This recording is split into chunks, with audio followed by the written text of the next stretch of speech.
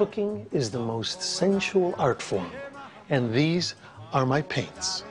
So your hands must be brushes. Don't interrupt.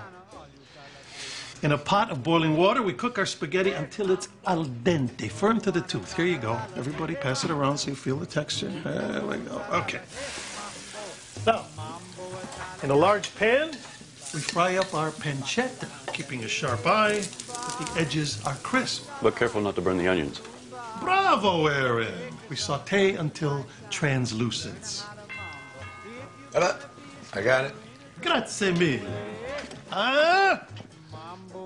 Now, we mix in the eggs, the parmesan, the spaghetti, and parsley. You see, it's all about timing and rhythm. And if you don't feel yourself doing it properly, please order a pizza. Sorry I'm late.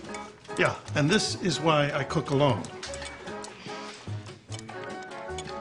So, uh, when do we get to drink the wine? Almost there. Okay. We're going to start at the beginning. You eat what you cook. I'll supervise, but we're going to do this all together, just like a family. Okay, now. Now, Mambo